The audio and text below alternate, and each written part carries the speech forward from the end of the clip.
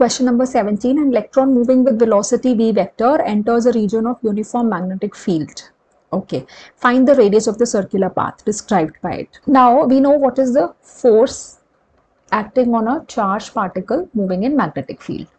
This is the formula q v cross b. Two cases arise theta 0 या 180.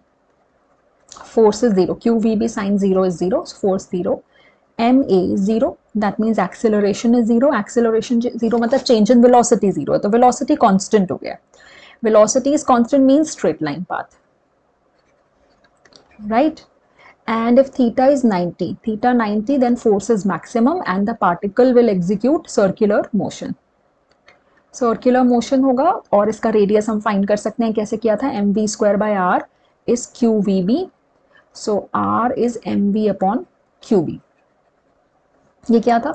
Now in this case we have velocity along x and y both velocity is in x by plane तो आप इसको resolve कर सकते हो. This is velocity v x is one into ten raised per seven metre per second along i cap along x and ये वाला component हो गया v y which is point five into ten per seven right magnetic field is along Y direction J cap लिखा है ना?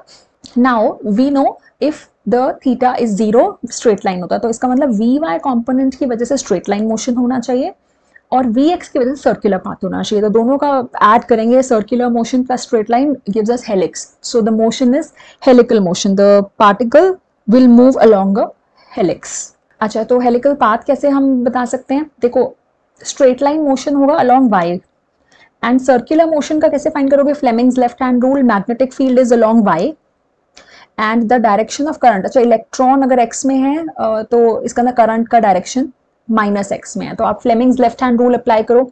Your index finger should be towards the fan ऊपर roof के towards and second finger should be towards left तो आपका thumb जा रहा है into the screen into the screen इसका मतलब आपका सर्कुलर मोशन कुछ इस तरीके से होना चाहिए।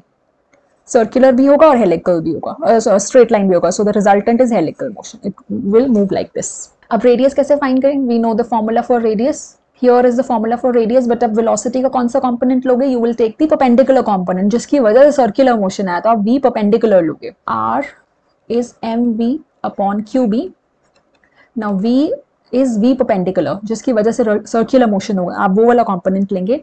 9.1 point one into ten raised power minus thirty one V perpendicular is one into ten raised power seven upon charge on electron 1.6 10 raised to minus 19 magnetic field is 0.5 milli tesla therefore 10 raised to minus 3 now you have to solve this इसका कुछ value आएगा 11.375 10 raised to the power minus 2 meter okay while rotating does the electron trace a linear path too yes it traces linear path along y direction अभी explain किया था if so calculate the linear distance covered by during the period of one revolution which is also called pitch linear distance कितना travel किया? Helical motion था।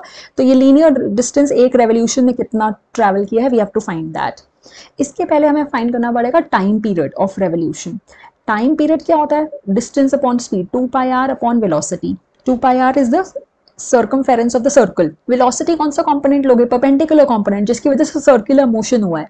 तो two pi r I am not solving अभी मैं सिर्फ़ value बता रही हूँ रेडियस का वैल्यू ऊपर से जो भी आया you will put it here v perpendicular आपका है वन इंटू टेन पर सेवन ठीक है, ये आपका आ गया टाइम पीरियड पिच का फॉर्मूला होता है which is distance linear distance pitch distance is speed into time तो आप स्पीड यहाँ पे कौन सी लोगे? वी पैरेलल जिसकी वजह से लीनियर मोशन हो रहा है. V parallel into time v parallel आपका है पॉइंट फाइव इंटू टेन पर सेवन ये वी पैरेलल है। मतलब जो वी वाई था इनटू टाइम पीरियड जो आपका ऊपर से आएगा। You can put it here and you will get this value I think seventy one point five ten पर माइनस तो आप सॉल्व करके देख लेना।